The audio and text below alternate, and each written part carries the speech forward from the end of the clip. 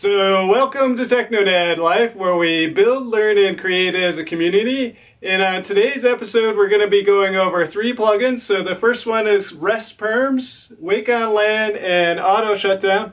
And these are very handy plugins because they help us sort of turn on and off our server and our other uh, computers so then we can save energy which means we save money. And so today's question of the day is what are you going to be using Wake on LAN for? And if you want to keep up with what's happening in our community, make sure you like and subscribe down below. And here we go now.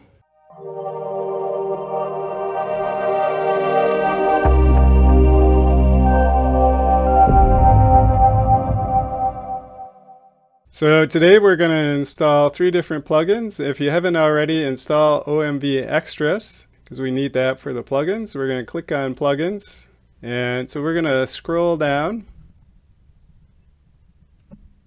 and we're going to click on Auto Shutdown, Reset Perms, and Wake on LAN. And then we're going to click Install and yes. And once that's done, click Close and then OK. Okay, so the first one we're going to actually go to is Reset Perms. And so for that, we're going to go to Shared Folders. And then you can now you can see there is a Reset Perms tab. And so what you would do is you would click on the folder that you want to reset the perms. And so resetting perms means changing the permissions of the folders. And so typically I put everyone read write. And then you would also click clear all ACLs if you changed anything else. And then you would click save. And then you're all done. And so I actually only suggest this as a last resort because it can mess up things sometimes. Okay, so next we're going to go down to auto shutdown. And so this is a way to shut your computer down, uh, your server down at nighttime or whenever, so it's not using up so much electricity.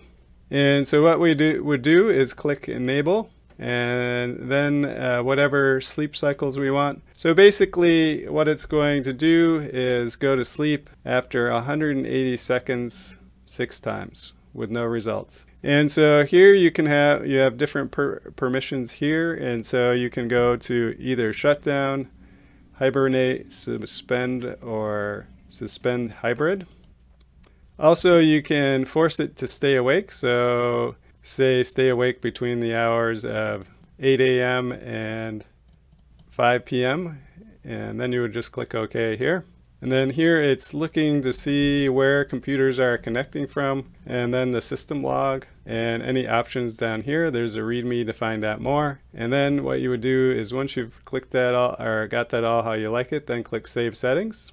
So another way to actually do the same thing is go to Power Management actually something interesting here. So basically what this does, if you don't know, is in settings, you can specify what happens when the power button is set. And so for like me, I usually have it on standby. And so for scheduled jobs, you can actually do the same thing. You can schedule your computer to shut down or reboot. First thing, uh, we can do something similar here, but this is mainly to uh, reboot your system if you don't do it very often. So you can set it in standby mode, shutdown, or reboot. If you want to standby or shutdown, uh, leave it on exactly, and then pick the hours. We're just going to say zero, and then the time of day. And so for us, if we say five o'clock, we'll shut it off at six o'clock. And then we're going to leave it for any day of the week. Uh, you can also do it so it say it shuts down every 12 hours. So what you would do here is say go to 12 and then click every nth hour. And so once it's turned on, then it will shut down at the 12th hours.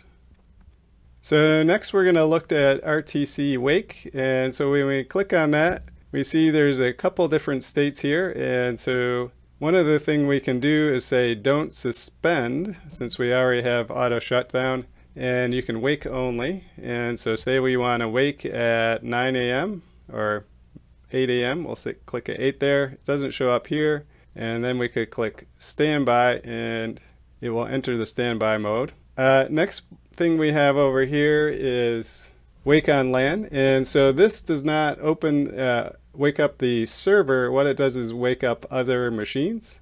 And so let's try that here. So first we need is a MAC or a name. And so we're going to call this red for, and we're going to call this black. And if we go over here, we have the black server. And so next we need the MAC address and the IP address. And where you find those is on your router. And so if you go to a router, so our black server is our elite server. So we're going to copy the IP address and we're going to put that right here. Next, we're going to copy the MAC address, paste that in, and then we're going to click Save.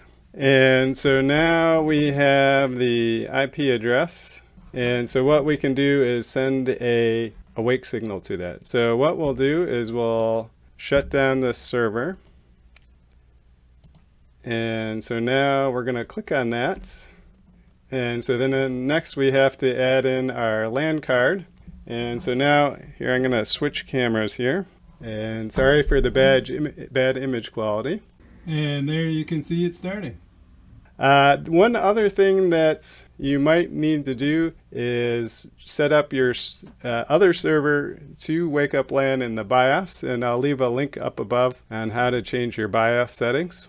Uh, besides that, that's how we set up Wake Up LAN on LAN and reset perms and auto shutdown. And so today's question of the day is, what do you plan on using Wake Up LAN for? And you can leave that down in the uh, links below. Have a great day and we'll see you next time. Bye-bye.